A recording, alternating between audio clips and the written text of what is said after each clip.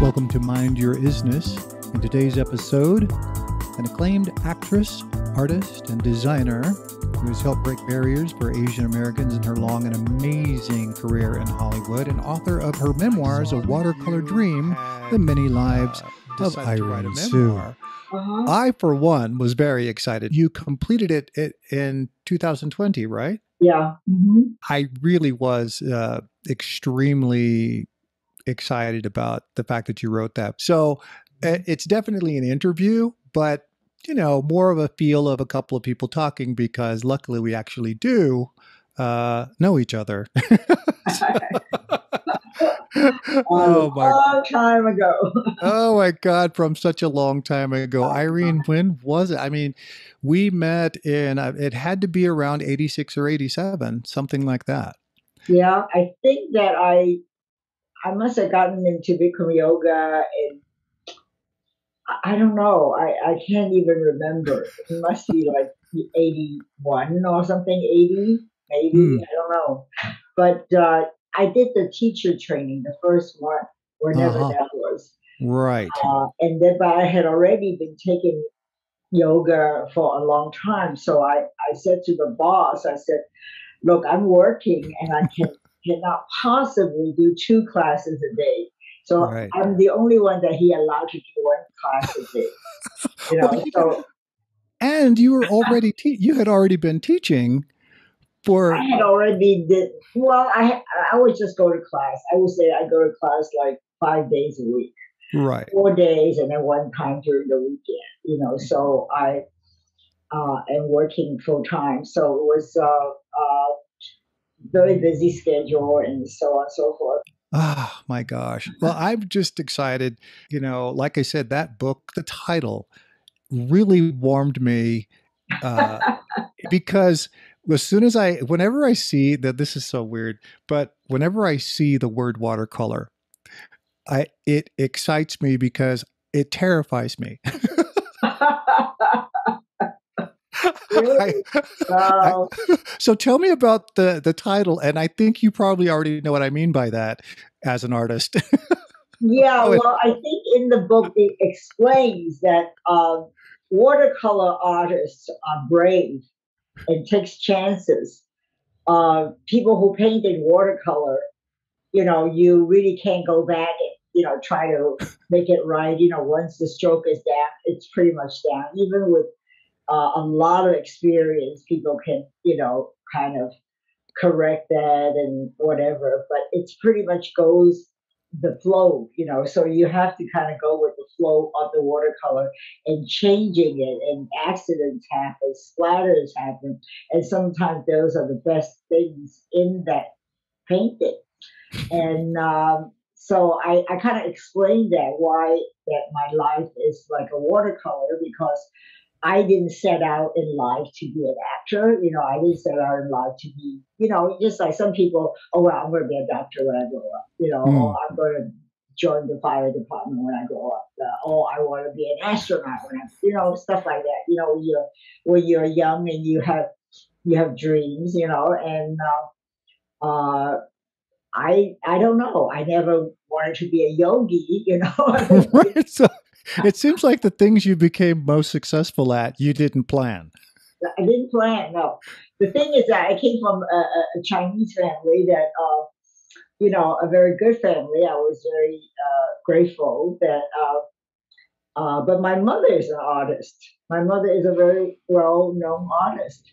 I mean, well-known in the sense that she um, taught at the uh, Art Institute in New York, and she she's a professional artist. She was a uh, in later years, she worked as a tex- textile designer Hmm. for um, several different studios. Ah, because I know you did design as well. Yeah, I did design as well. So it just like I, I grew up with a lot of art. Yeah. Uh, I say like I came to America when I was 11 years old and moved to New York, and uh, uh, so uh, some of the book is about uh, my backstory. You know how I grew up in uh, very, very kind of a complicated Asia. Uh, Wasn't it Brit- British rule was still, wasn't it like a, it was, Yeah, well, I left China, Shanghai, when I was like three years old, so I don't Uh-huh. really have personal recollections of it, except what my mother told me. Uh-huh. So then I we lived in Hong Kong for seven years, and um, uh, and it was you're right. It's a British Crown colony. That's what they called it. You know, the Commonwealth, Hmm. uh, the British Commonwealth, and uh, we actually had to go to the auditorium every day and uh, you know sing a, a, a national anthem. I mean, you know, the British anthem. Yeah. Uh-huh. Right. But I forgot So- what it was now. But allegiance to the Queen. right. Now, that's where you were when the ballet came up. Somehow, I just, you know, saw saw a poster or something of, of the red shoes, and I just got mesmerized by by those red red shoes. I was like eight years old or whatever, and I begged my mother, you know, I begged and begged her to enroll me in a ballet class, you know. And so she said, okay, okay, you know, my mother, being the artist that she is, she's she let me do whatever I want to do. You know? Sure. so she took me to the ballet class, you know, twice a week, and then I took a bus home, uh, eight years old, you know, but wow. wasn't very far from my house. Uh, so, um, uh, so that's what I did. And then I have an aunt, interestingly, she was into ballet also. So on weekends, I, I asked my mom to take me to her house and then learn a few more steps, you know, that kind of stuff. So I was a, I, I had wanted to be a, a ballerina. That's all I wanted to do. And, Wow. uh, interestingly, uh, my dream did come true. I I was entered by my teacher uh, to a contest which they held once every four years in Hong Kong for the Commonwealth, you know, of the British Commonwealth. Right. Right. And lo and behold, I uh, I won. I won the contest, and uh, so I was to go to Sadler Wells, which is the Royal Ballet at, at the time. I think it's called Sadler's Wells or whatever it is. And and uh, so my father flew in from Taiwan, which he lived, uh, to Hong Kong, and they had a meeting in one of the high-rise buildings, and I was about this big, you know. you know. So uh, so they explained to my father what the program calls for. I mean, it's like you you have to not only do I have to, of course, uh, train, you know, like five hours a day, and I have to do Sure. homework because I was uh, 11 years old. I have to do my own schoolwork, whatever place I was in.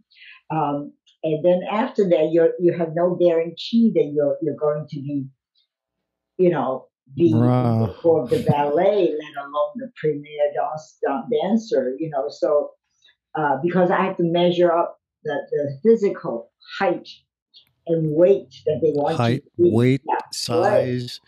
so Ugh. exactly, you can't have the, you can't have you know you know they want it to be like a very uniform. All the What do they all call that? Like cookie, like cookie cutter. cutter. Like, like right everybody the same. exactly exactly. and then they said that, uh, and then you have to sort of work for them uh, in the corps de ballet. You know, uh, unless she was like extraordinary and became a premier dancer. Uh, uh, you have to work for them to tour, you know, around the country, around the world. Ah, Uh, so for seven years, so you're indentured, you're like an indentured servant to the Royal Oh. Ballet. and this is a cell that they're trying to do for an 11 year old. That's right.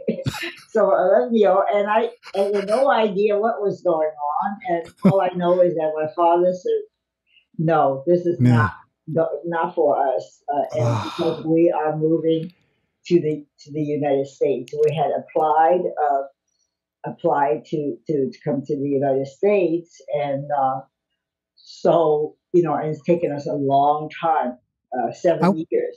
I just. Uh, you know, I had to do what my parents, you know, want me to do. So, and moved not to California. We went to New York. our relatives were all in New York, and it was decided that we had to go to New York. So we got off the boat, uh, the ship, and uh, crossing underneath the Golden Gate Bridge. It, it's just very, all very uh, exciting uh, for an 11 year old, you know. Sure. And, uh, you, I, I, just asked my mom for some coins. They said you have to throw coins when you pass the bridge that will guarantee you that you will return to the city of the Golden Gate Bridge. Mm. Um, so I did, I did that. And wow. sure enough, I went back there and like six years later and uh, won the uh, beauty pageant of Miss Chinatown, USA. Tell me a little bit about that because um, I've heard of that, and I know that you uh, you had won it.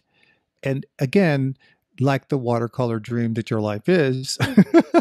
it's something you just kind of fell into. It's like I just fell into it. I had no desire to, you know, to to be in a beauty pageant. I don't know what it's all about, but uh, as a young teenager, um, you know, me and a few friends from school, from high school, you know, would go down to Chinatown in New York, and uh, we would hang out there, you know, because what else is there to do, you know?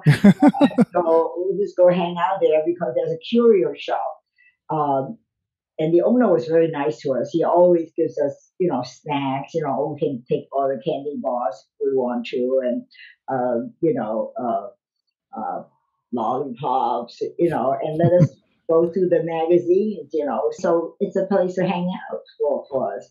So then he one day he says to me, he says, you know, uh, they have this Miss Chinatown contest in San Francisco, and I needed one more person to go because New York has to send two representatives, New York being the big city. Uh, and I said, uh, and he said, I, I want to send you. And I, I was like, like you know, what, what am I supposed to do? You know? So I said, I'm not even 17. And he said, they won't ask, you know, anybody. I said, you know, from my shop, they're not going to ask any questions. And besides, you're going to get, you know, the dresses made for you with, your matching shoes, you know. Oh, wow. you know, and you're going to get jewelries, you're going to get trips, you're going to get, you know, all kinds of gifts and everything. And I think it, wow, that sounds good because happening to me in, in, high school, you know. So I said, uh, I'll ask my mom, you know, and of course my mom said, oh, okay, go. So off I went. I forgot what it was, 10 days or something like that. 10 days. Oh, wow. There's a round of uh, banquets and they took us all to the family associations and, and, uh, you know, definitely did got us dresses, you know, matching, matching high heels. And it was, it was a lot of fun, you know, a lot of fun. And, uh, uh, I assume that you for your talent, I'm assuming you danced. Yes, I did. Yeah. And because by then I had already been in a movie, Flower Drum Song. Oh yeah. wait, so you were how well how because you were you were you were cast as a dancer in Flower Drum Song that right. and you I were was, on oh you weren't even 17 yet. No, I was 16 years old. I'm still good friends with Nancy Kwan. She was the she was the lead in the in the movie. wow. because she also is from Hong Kong, and uh, I mean we didn't know each other, you know, because uh, she's yeah. seven and a half years older than me, and I, I, you know, in my book I said, did she know that she had a room with a 16 year old? you know, so I, you know, I don't know. So I, I, I was a kind of a big girl, you know, big teenager. I was like. Uh, chubby, a, a chubby teenager. Really? Because I uh-huh. that's interesting. Because like you, one of the things I know you mentioned before about how uh, how skinny you were, how little you were. Oh, you, oh yeah, this, uh, this little did, skinny thing. Yeah, little skinny thing at eleven, and by the time I was, I was sixteen, I was a, a very chubby teenager. those candy bars at the at the grocery. Yeah, those candy bars you know, all the junk food that I ate. It, it's amazing how kids even grow up because they, they eat just junk, you know. thing is, my daughter, you know, And I said, well, you just got to have some real food. Oh, yeah, mom, I had a bag of chips, you know, and I food. You know? Potato oh. chips are potatoes. It's a vegetable. Right. I had a bag of chips. And I, am going to have an, another one. I have some Doritos. You know, it, it, it's like, you know, okay. oh, uh, that that's pretty much what happened. And so, so when you won that, what was what was like the main prize for for winning? Well, it it was so incredible because I have a very unusual last name, so not many people have my last name. You know, I'm not a Lee or Chang or Wong or something. So I uh-huh. didn't have a family association backing me. So, but then they found out that my grandmother's last name was really Tang or something like that. Mm-hmm. Then they kind of adopted me because the gifts are elaborate. They they were gold plaques, solid gold, 24 karat gold plaques. and I, I, I managed to keep kept two of them. I lost, I even lost one. I, I was you know diamond watches, okay, which I lost also. Uh, but the gold plaques are they're big. They are, I would say, like almost like a three by four. You know. Oh my god! And that and, report. Uh, yeah, and uh, I got the key to San Francisco given to me by the mayor of San Francisco. I, I lost that too. you know, now you start to mention them, they'll start popping up on eBay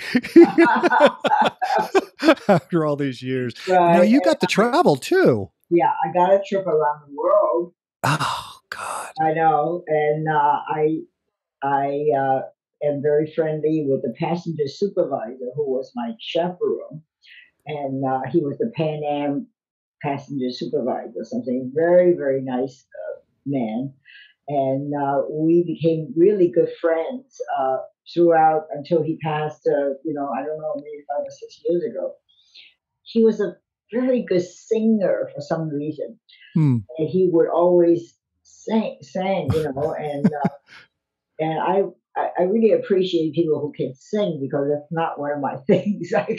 you do so many things. That's just one of the things. Yeah, one of the things that I cannot do. if a part calls me calls for me to sing, I read, oh, I'm panic. You know? So um, anyway, um, and my husband would say, It's in your marriage contract, don't you know that you're not even allowed to sing in the shower?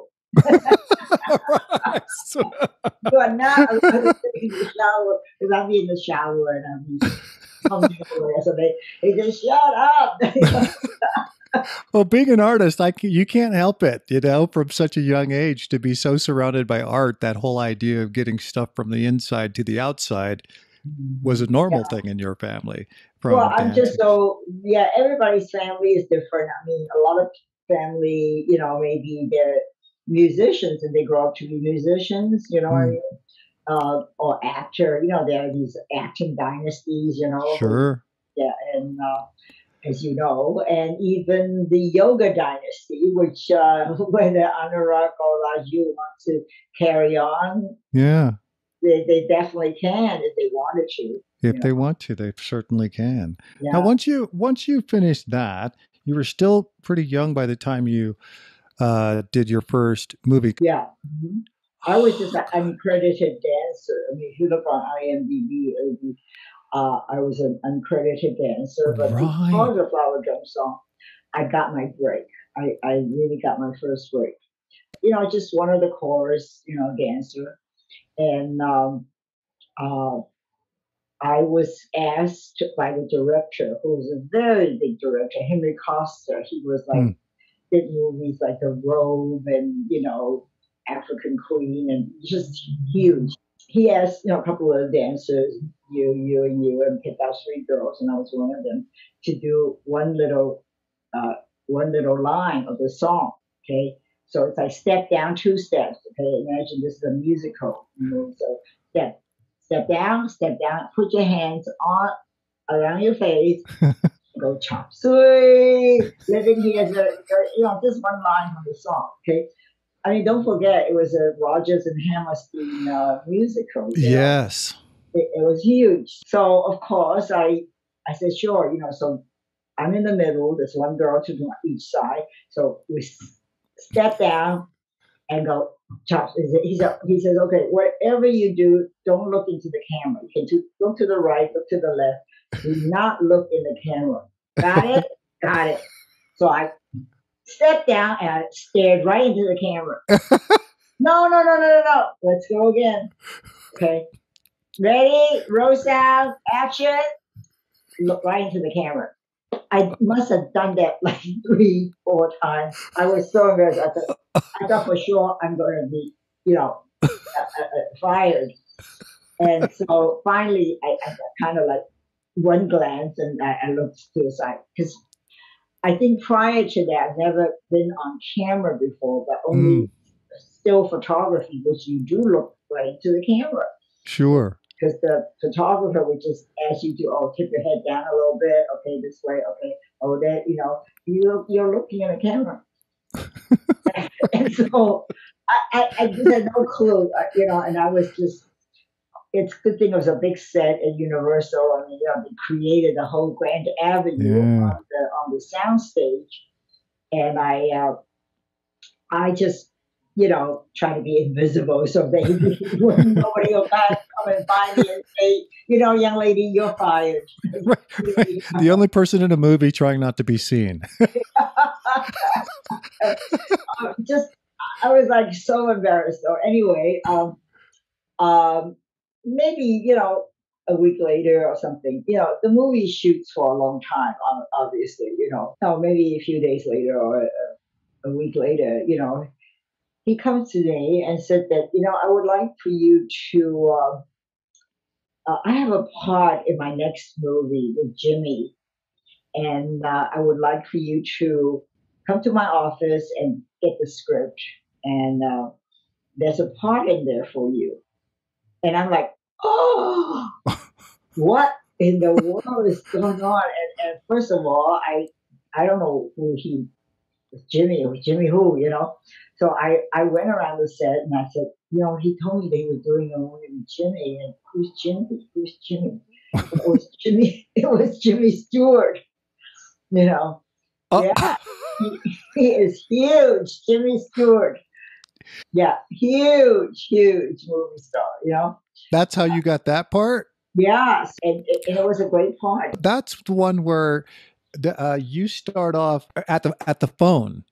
Right. Where you right. tell him you'll dial the phone for him or something? Yeah, it was all in French, and I was I was this young hooker in uh, in, in, in Paris somewhere, you know, and uh, so I had to jump on his back, and then they try to find me off, and you know, and a big chunk of it was in French.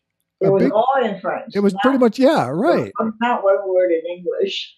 and you were speaking French quite fluently. Oui, je parle français comme un parisien. oui, je, well, je ne parle pas français, mais je comprends un peu. Et, très bien, très bien. What, because of the ballet, I learned French. All the ballet, you know, vernaculars are in French, you know, port de bras, bras, bras. Yeah, uh, true that. You know, tombe. So, uh, so because of the ballet, I thought, well, I really want to be a ballerina. I didn't learn French and I want to speak French and so on and so forth.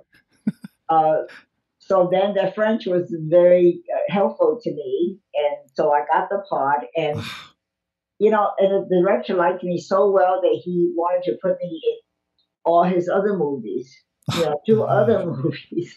And, and I couldn't even do it. I think I did maybe one other one, but I, I couldn't do it because I then got busy on other projects.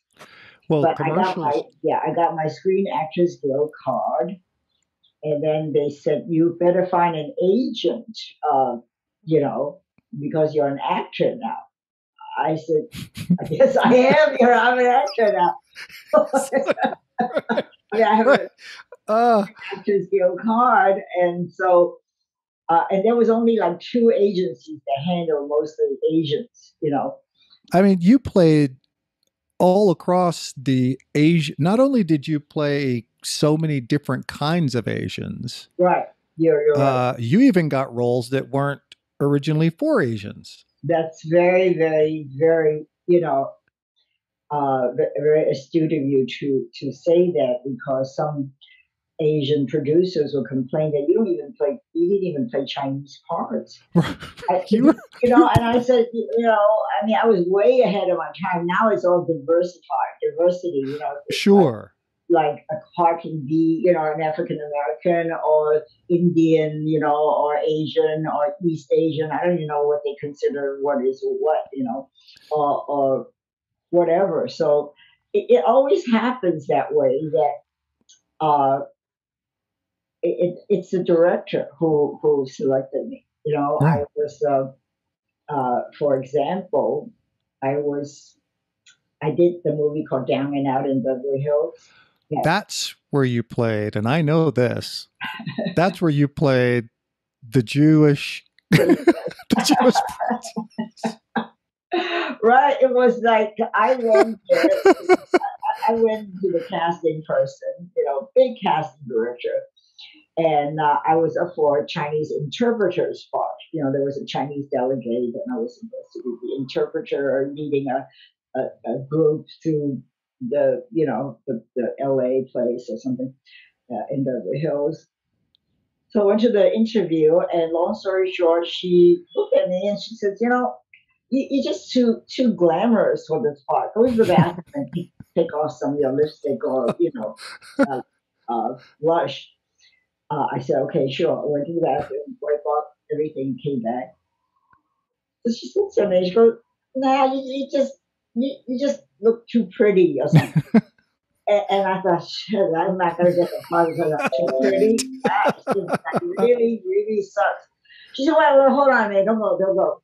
Uh, I was talking to the director, uh, was Paul Mazursky, and he said, uh, is another absolute genius, has done so many incredible movies. And he said, she said, he was kind of mentioning to me that he may cast one of the parts a non uh, non-American, something mm-hmm. other than you know just all white American. He said, you know, uh, be prepared to meet him. I'll call you. I'll call your agent, you know, this afternoon and set up an appointment to meet Paul. Hmm. I said, okay. So sure enough, she did. And then the meeting was the very next day, you know, and uh, you know, his, his, office was in Beverly Hills. And God, I just, you know, I, I waited there out in the, in the uh, reception area forever. So then I, I just went into a kind of a meditative, you know, sort of state. Uh, there's nothing to be nervous about there was only a few lines that I'm supposed to do. He wants to read. He wants to read me. I said, okay. Uh, you know. So then finally, I got to go inside, and we said our hellos, and uh, and he said, you know, go ahead, read. You know, he wants to read with me. So we, we read a few for a few lines. He said, "This is it. You're Sheila Walsberg." I'm Sheila Walsberg.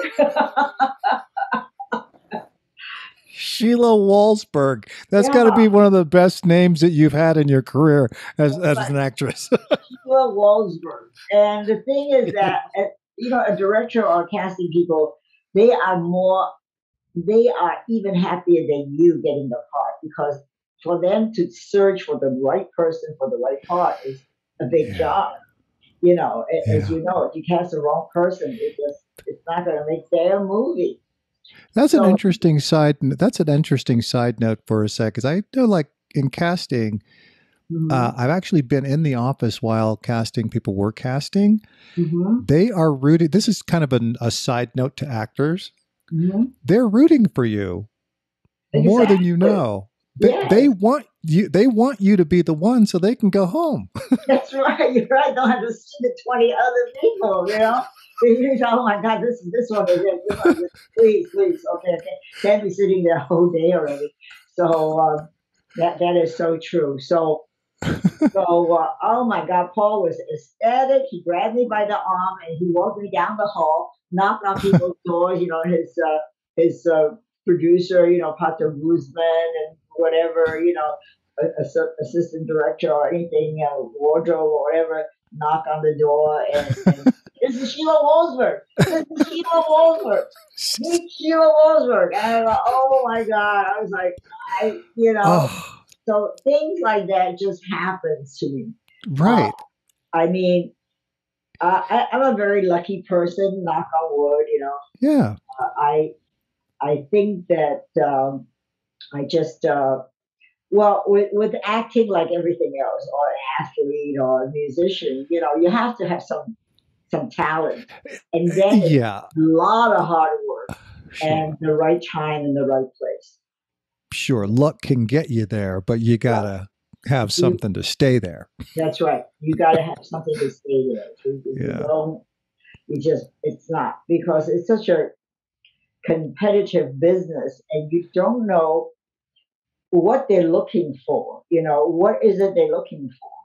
Now, mm. you're a very unique character, you know, your look, your whatever it is, you know, maybe just right for something. You, mm. you don't know. People may say, uh, I don't know. I, I wanted this part to be, you know, the writer. Usually the meeting would be you know, just not the director. I mean, not the casting. Sometimes the director is there or the writer is there. You know, very mm-hmm. seldom the producer is there. But sometimes when they come to uh, the second call or something, you know, then they're all there. They got to check you out. Now your now your um your list of credits is major. Like so many movies, yeah. so much TV mm-hmm. not to say growing up and, you know, just being a young person in the, you know, 70s, 80s, you were everywhere. And yet, when I met you, I, I didn't realize that you, I recognized you, but, you know, not, not really. because we were, we were working, you know, every time I saw you, we were working out. Yeah, exactly. Or, or on occasion, I would see you at a gathering or a party, or I'd just randomly see you somewhere at some Hollywood thing. Um, so I knew you had, you know, but when it it took ages for me to realize that you were that person. It kept emerging. Now I can't be the only one this happens to, where they go, "Oh, that was you." Yeah. Well, I kind of like. Um, I, I did a lot of things, but I really don't want to let on that I'm an actor. Primarily, I'm I've been an actor since I was 15 years old. You know, so. Uh, but then I'm also, uh, you know, a fashion designer. Right. Satisfies my my my creative thing. But it happens to, to, to a lot of actors because actors are creative by nature. So Absolutely. in between in between pictures, like for example, um, uh, Harrison Ford. He's a tremendous carpenter. Oh my God. I mean, oh. He has done cabinets for a producer friend of mine. I just looked over and oh wow, these cabinets are really interesting. I've never seen anything like it. You know, they're a kitchen cabinet. And he said Harrison made them for me. Wow. So, oh, you know. So in between movies, he come over and work on cabinets, and they also a lot of big stars they're flipping houses because not flipping houses to you know I mean they make money, but they now, they, they have the creative energy. You did speaking of flipping houses, you did real estate, right? Yep, mm-hmm, for thirty years. Right. So see that that's why the the I don't know I think it's the, the evolution or the evolving when you start to unpack these different things with Irene Tsu, it's like your expression you do have a fearless watercolor kind of existence. That's you couldn't have picked a more perfect title for your memoir. Yeah, I just well, I mean, you just have to, you know, you know, not exactly like winging it, but the thing is that you have to do something for the first time.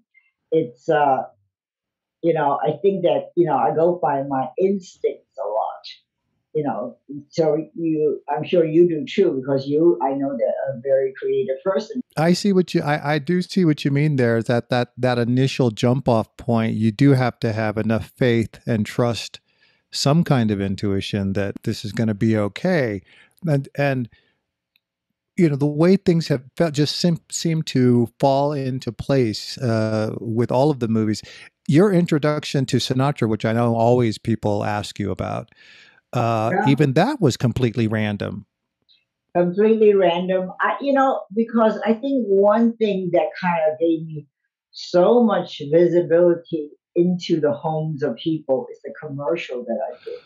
Two commercials at the same time Chevron for Standard Oil of America and uh, Hawaiian Punch for Right. Procter Gamble. Even though I was not the, the little fruit juicy guy, uh, I did all their, uh, you know, countrywide campaign and posters and hmm industrial films and make personal appearances for them and almost like simultaneously, you know.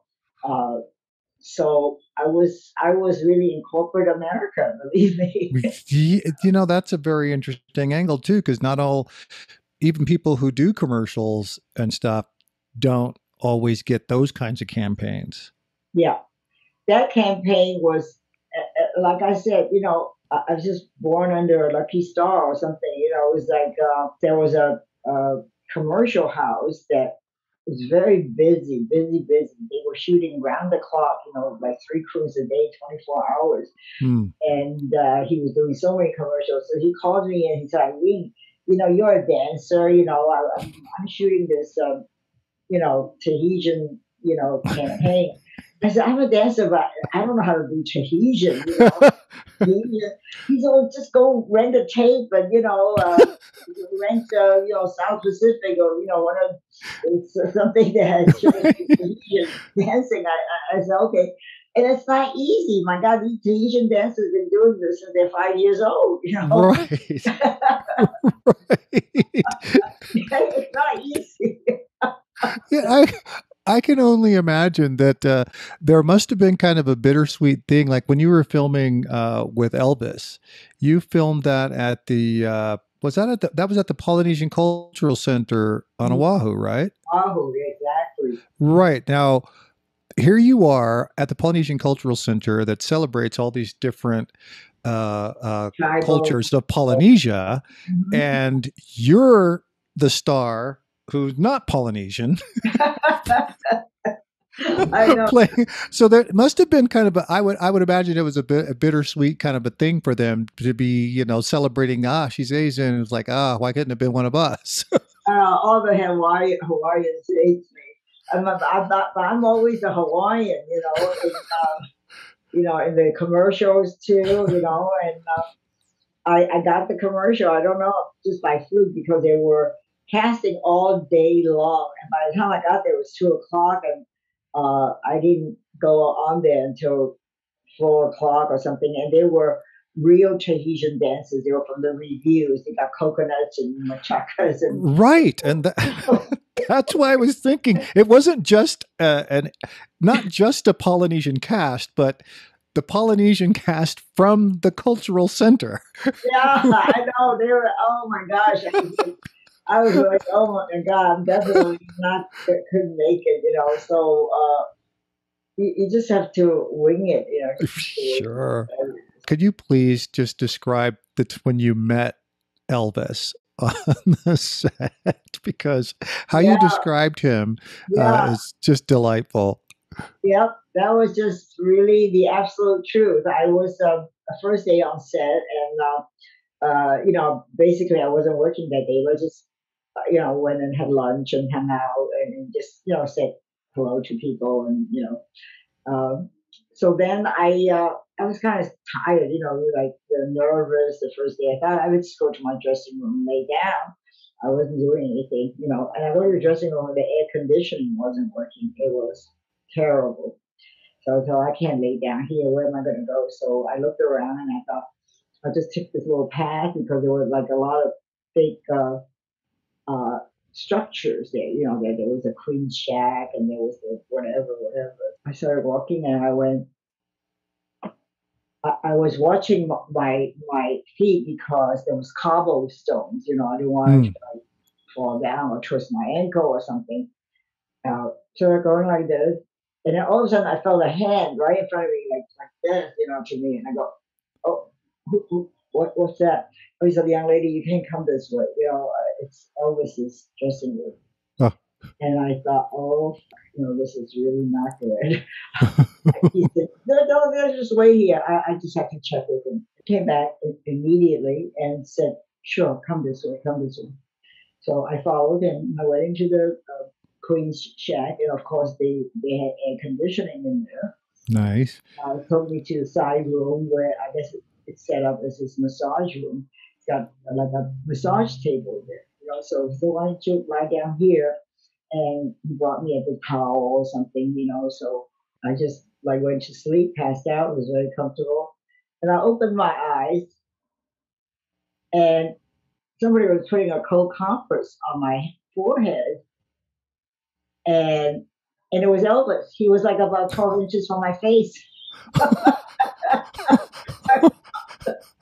I mean, you know, I mean, I've never, I've never seen anybody that looked like him or sounded like him, and there never is anybody that sounded or looked like the king. You know, Oh he was just amazing. He, he's so, he's really beautiful, and I, I, I, I, you know, I didn't you know what to say. You know, so it's just I, I just smiled a little bit. So, like he said, "How you feeling?" or something. And the first thing that came to my uh, my mind was that he smells like baby powder and milk. You know how everybody's got a scent, you know, like you know, Right. Baby she- you know, powder and, and milk. Yeah, baby powder and milk. You know, because I'm very sensitive. Smells very sensitive. Yeah. You know, That's really overwhelming. I mean, uh, that- baby powder and milk. So that's the first impression I have of Elvis. You know, of course, he was so beautiful. He is just so beautiful. And oh uh, my god. and he was very nice. He said, uh, uh, you know, we can get you anything you want to eat. You know, you know, whatever you want, but stay away from the fried chicken. We're in Polynesia, you know. stay away from the fried chicken. I love it. That's what I remember he told me. Oh my God! that was my first encounter. So you did um oh you know you well you did so many movies. Uh the television shows is where I know that well first of all most of the movies I saw uh, and even more than that was the television stuff. Everything from I Spy to Perry Mason, um, And from Uncle, you know, just right, Wonder Woman.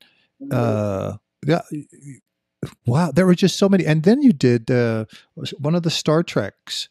yes. Uh, It's, uh, and- it's the Voyager. It's the second generation of Star Trek. right, you played the parent of one of the crew members. Right. I was the mother to um, one of the uh, uh, one of the regular guys there. You know, Right. I mean, it's a brilliant, brilliant show because they uh, we kind of like really in a time warp because we shot the film, we shot this scene. The, the set is just incredible. I mean, we were only on one little corner of the set because they had built an entire starship on whatever studio, you know, lot that was.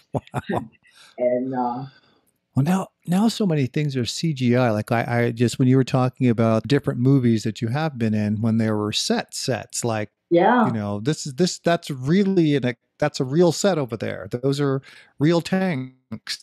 you know, those are, I know the real river, you know, lagoon, and real, uh, you know, so many extras. I mean, in most movies, it would have taken at least a week to shoot that scene. They would have to do so much coverage, you know. But uh, sure. being that it's an Elvis movie, and they they they did it only because to sell his records, you know. So uh, and it's very sad. He had the saddest life.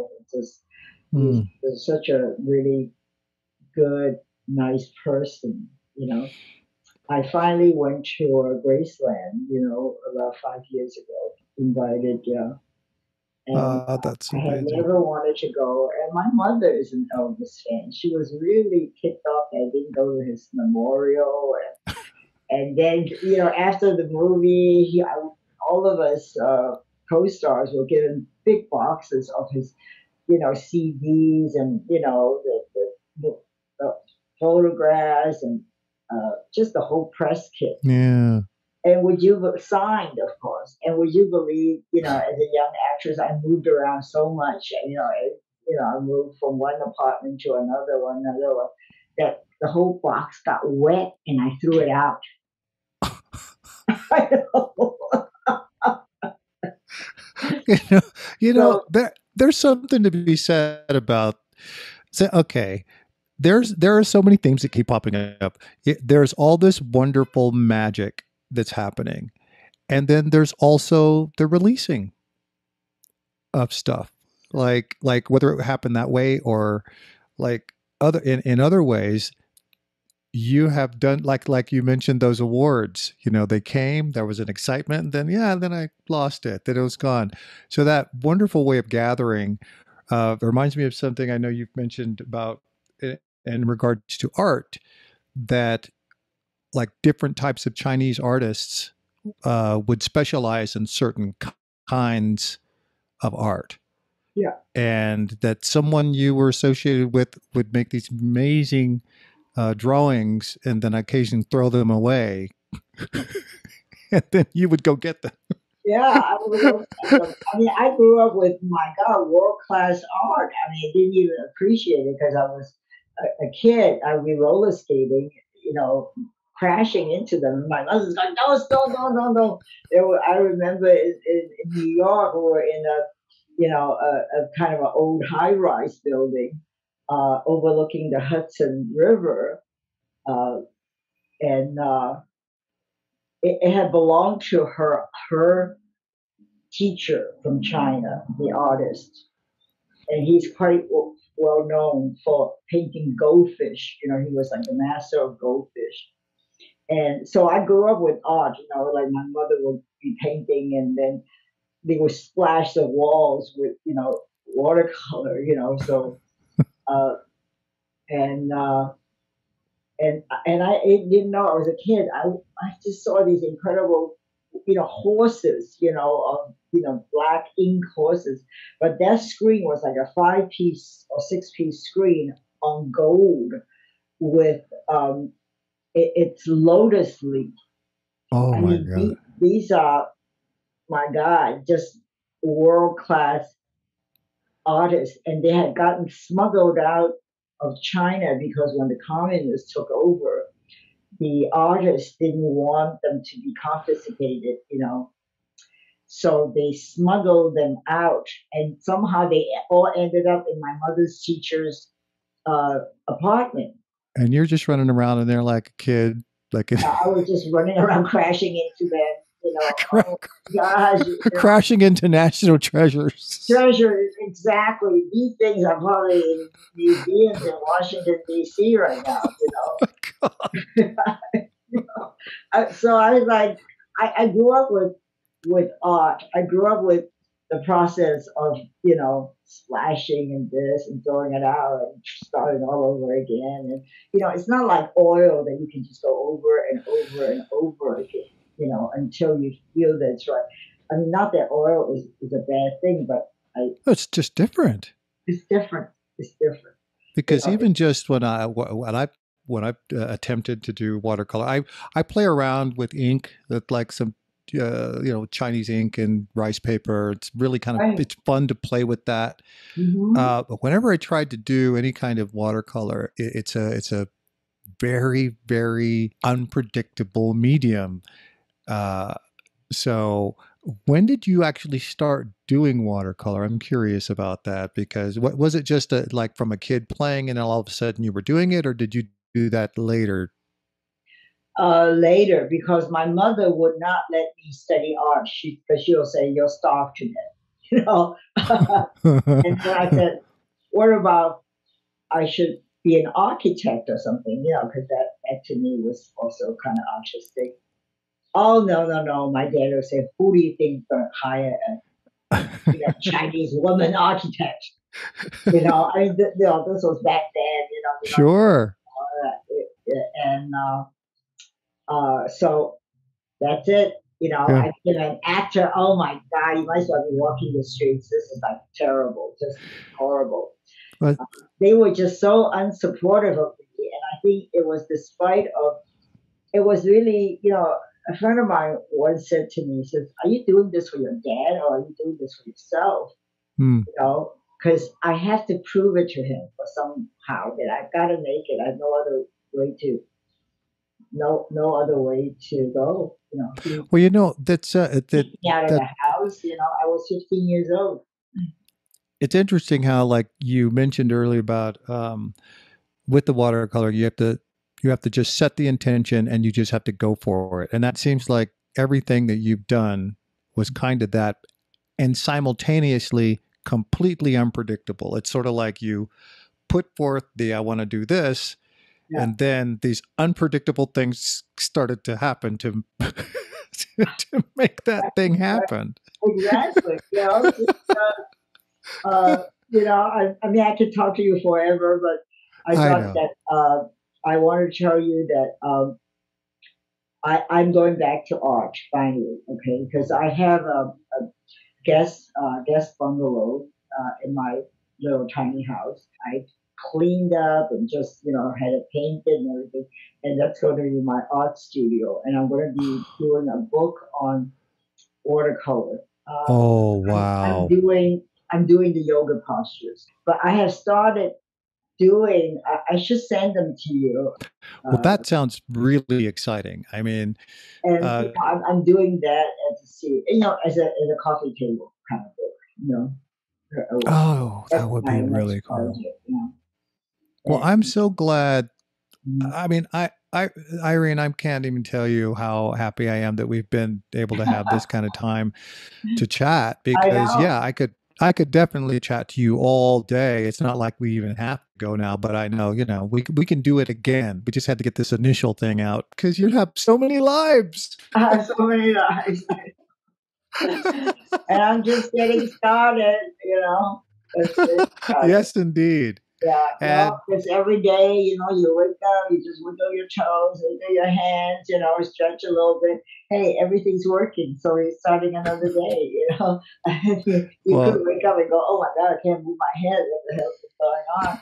So, um, you know, just another day, another beautiful day that God has given to us. You know, whether it's rainy, it's beautiful. Whether it's sunshiny, it's beautiful. You know, it's just always different, always different.